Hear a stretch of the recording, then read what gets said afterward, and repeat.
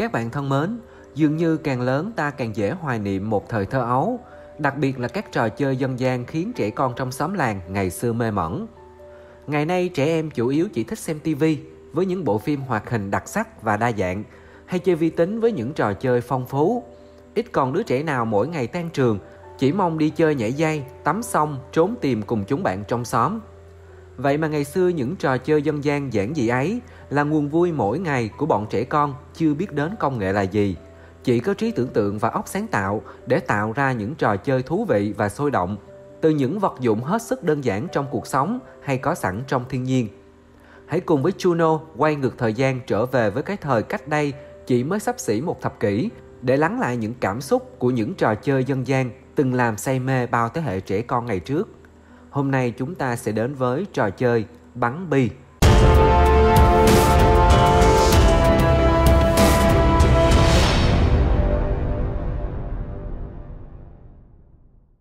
Nếu thấy gạch là trò chơi của con gái, thì bắn bi lại là trò chơi yêu thích của tất cả con trai. Những viên bi tròn, nhiều màu sắc khiến nhiều chàng trai mê tít. Nhiều bạn còn có hẳn một bộ sưu tập. Khả năng nhắm chính xác mục tiêu với những cự ly khác nhau mang đến cho những tin boy giờ phút vui chơi hết sức vui vẻ. Đương nhiên người chiến thắng sẽ có được những viên bi mình vừa bắn trúng của đối phương. Trò chơi bắn bi yêu cầu phải có một khoảng đất trống tương đối bằng phẳng, càng đông càng hấp dẫn. Người chơi phải gạch hai mức song song nhau với khoảng cách từ 2 mét trở lên, tùy theo sân chọt hay rộng và người chơi ít hay nhiều. Trước khi chơi trò chơi này cũng bắt buộc chơi trò oảnh tù tì để xác định quyền ai được ưu tiên.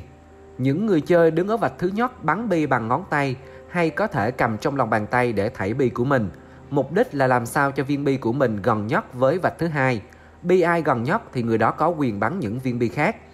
Thông thường người chơi đặt ngón tay cái xuống đất và bắn bi bằng ngón giữa hay ngón trỏ. Tùy theo ai thuận tay nào thì bắn bằng tay đó, không bắt buộc. Để trải nghiệm tốt hơn về trò chơi bắn bi, Juno xin mời các bạn cùng xem qua những hình ảnh sau đây.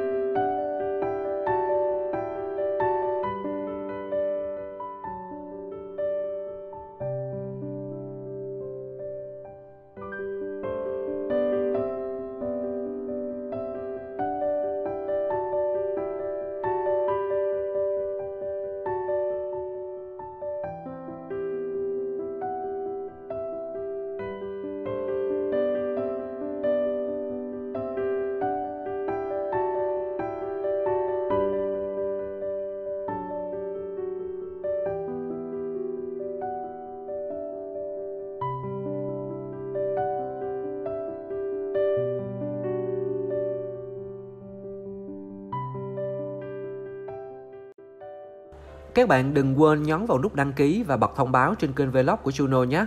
Cảm ơn các bạn.